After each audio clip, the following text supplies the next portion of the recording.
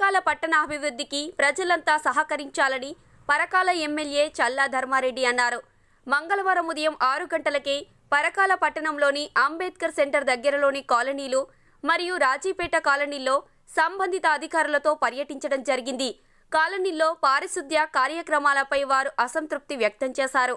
ఇరుకుగా ఉన్న సందుల్లో రోడ్ల వెడల్పు పనులకు సైడ్ కాలువల నిర్మాణ కార్యక్రమాలకు కాలనీ ప్రజలు ఏకగ్రీవంగా తీర్మానం చేసుకోవాలన్నారు.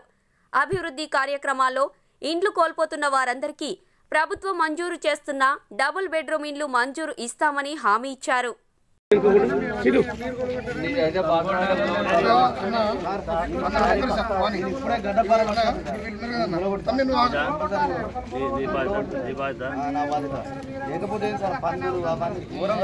అనేకమైన జ్వరాలు వస్తున్నాయి పిల్లలు.